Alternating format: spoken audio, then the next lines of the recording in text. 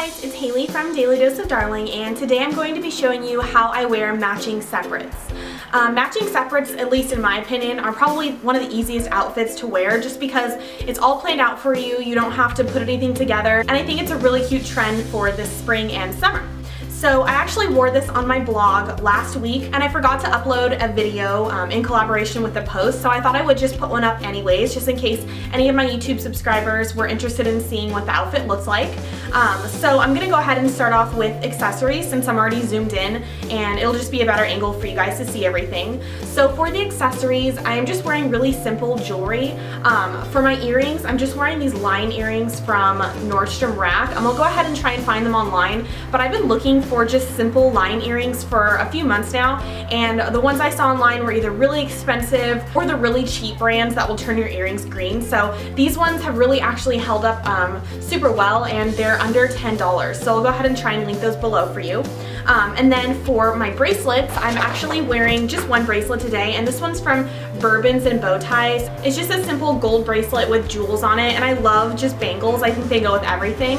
And then, yeah, that's all I'm wearing for jewelry. And then for my bag, I'm just wearing this clutch. Um, there's actually nothing in it now, so it looks like really thin. This is just a simple envelope clutch. I love envelope clutches just because they go with everything. I have them in almost every color, and this one I actually got for under $20 from a website called groopdealz.com. There's a lot of different websites like that, but I really like Groopdealz because they have home decor items, beauty items, and fashion as well um, for really cheap prices. Um, you can go ahead and check that out. I'll link everything on my blog below as well.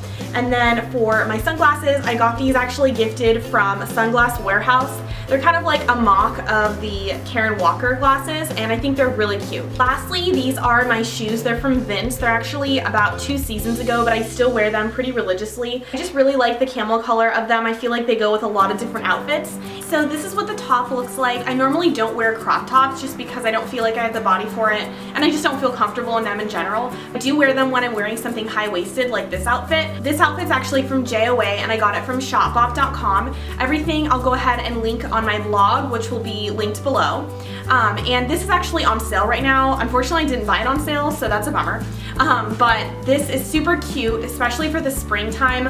Um, it looks like this. It just has a simple strap right here, and then it cuts off right at your torso. And I like the back because it has cutouts, um, little triangle cutouts, which I think is super cute. And then this is what the skirt looks like with the top. I like it because it just shows sliver of skin right here, so it's not too revealing. And I just love how flowy the skirt is. Um, it's also a midi length, which I think is really flattering. So yeah, that's it for today's outfit of the day. If you like these videos, go ahead and give them a thumbs up below. Pictures will be on my blog with all of the items linked as well, so make sure to check that out. Go ahead and follow me on all of the social media platforms. I post a lot about fashion, home decor, and beauty. Um, so if you're interested, I'll link those below as well. And thank you guys so much for watching, and I'll see you next time. Bye guys!